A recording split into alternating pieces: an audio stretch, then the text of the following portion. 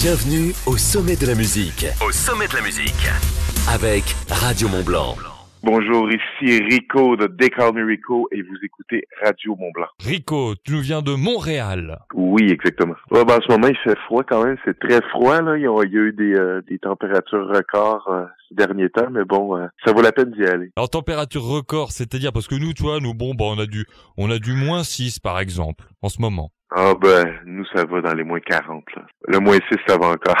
Ouais, on joue pas dans la même cour, d'accord. Alors, et après plusieurs tournées au Canada, bien sûr, et en Europe, tu seras par chez nous ce mardi, le 10 février, à l'atelier à Cluse, en première partie de Paul Person. Tu dois être heureux comme tout, Jean, première partie de Paul Person. Ben oui, c'est super. Euh, J'ai déjà fait deux dates avec lui, donc dans sa tournée, les premières dates de sa tournée. C'est vraiment génial parce que Paul, c'est quelqu'un d'accessible, qui se la joue pas star du tout, qui est très sympathique, son équipe aussi, donc euh, c'est vraiment un partage, tu sais. Puis moi, ça me fait plaisir parce que un coup que j'ai fini mon, j'ai terminé mon spectacle, ben moi, je peux aller l'écouter, puis aller le regarder, puis l'écouter, puis euh, donc c'est le travail et plaisir euh, en même temps.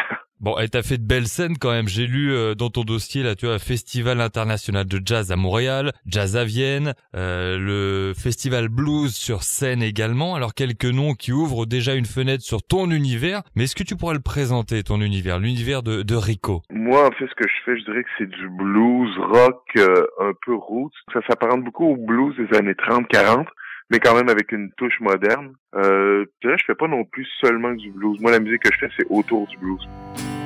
Well, I'm sitting on a bicycle just wasting my time, trying to chase your better memory out of my mind. Take one shot of whiskey and one sip of wine. I'm just trying to have a real Sur scène, on peut t'appeler homme orchestre ou pas Euh, oui, je suis un orchestre. Parfois, je fais des spectacles en duo. La plupart du temps, je suis vraiment euh, seul sur scène, donc avec une grosse caisse, euh, euh, la cymbale Charlie, guitare, euh, voix, harmonica. Donc, je fais un peu tout en même temps. Donc, oui, oui, c'est un orchestre, mais moi, j'essaie de pas me limiter à ça, c'est-à-dire que il y a toujours un effet surprenant. Les gens, quand ils voient un homme orchestre, ils- le premier truc qui, qui les... Euh, on dirait qui va les surprendre, ça va être de voir quelqu'un faire euh, plusieurs instruments en même temps et tout.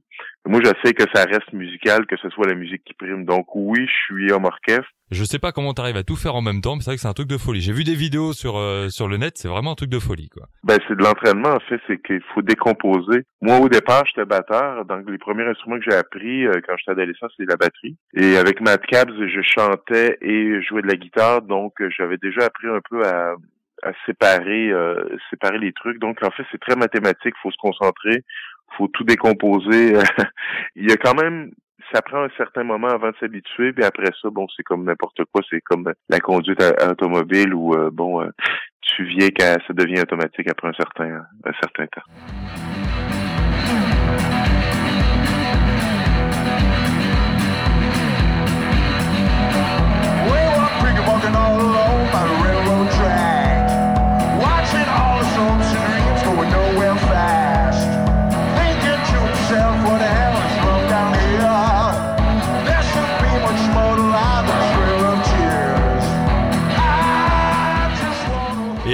Ton album, ça, quand on l'écoute, on a l'impression de se balader, je sais pas. Il y, il y a une ambiance un peu western. Il y a une ambiance un peu euh, style on se balade sur les grandes routes américaines, on voyage. Ben oui, moi quand je composais, j'avais un peu des des images de films de Wim Wenders ou de, de vieux films de Sergio Leone. Un peu, c'était ça que j'avais en tête souvent quand je composais la musique avant de mettre des paroles.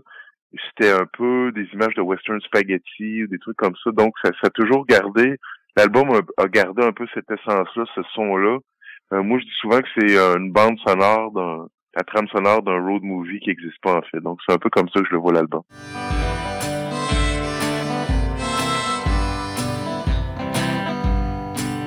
Well, I'm sitting on a bicycle just wasting my time, trying to chase your memory out of my mind. Take and one sip of wine. I'm just trying to have a real good time. 'cause I'm Puis alors, le niveau, si on parle toujours d'album, il y en a un qui est en préparation, qui verra le jour, bah, cette fois-ci un album studio, euh, fin de cette année, c'est ça? Oui, ça devrait être autour de fin octobre, début novembre.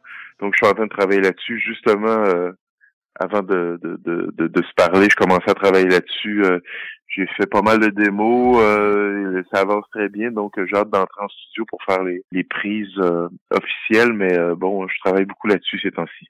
Ça va être bien, je pense, j'espère. et puis toujours là, si on revient sur le côté western et tout ça, ça te botterait pas un jour de, de faire une musique de film ou, ou de travailler sur ce projet ah, Moi, j'adorerais, hein. Ah, ben, si quelqu'un me fait une offre, moi, je suis toujours partant pour ce genre de, ce genre de truc-là. J'adorerais faire ça. J'adorerais faire ça. One, two, three,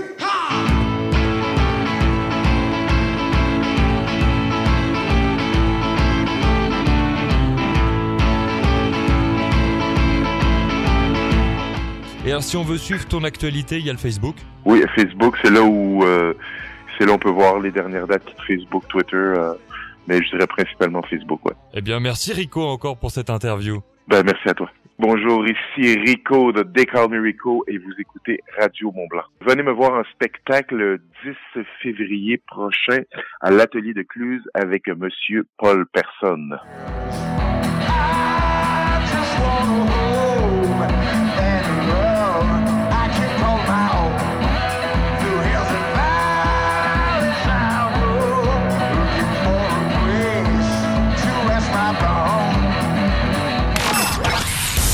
Bienvenue au sommet de la musique. Au sommet de la musique. Avec Radio Mont Blanc.